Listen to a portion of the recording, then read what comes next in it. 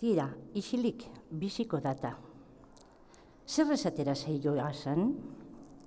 Bizi izan balitz edo bizi bada, egun dobe ez neutzala edo ez deutzadala ezer igarri eragingo. Ez, eh? Ta noiztikoa duzu zeure zer hori? Ez dakit nik noiztikoa. Auzoan bizi izan da beti eta beti ikusi dut gurasoentzako haino nata zintzoa dala eta langilea, elizarakoa, iasakoa eta ederra bebai eta ederra ez da ba, Josepa. Alan dinue herriko neskatila danak. Eta zer gehiago? Gehiago ezer bez.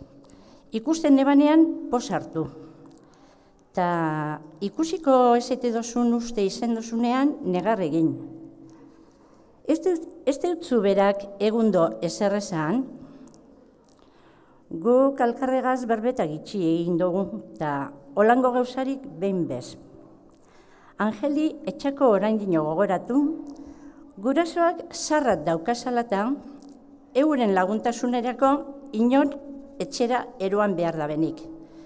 Eta gainera, gogoratu jakonean, horretarako nigana etorriko danik ez dut uste. Txalopa jabea dituzu eta gu barriz potintxu bat baino besterik ez daukagu. Orduan txe bai egingo zendukela negar solia, ostera be.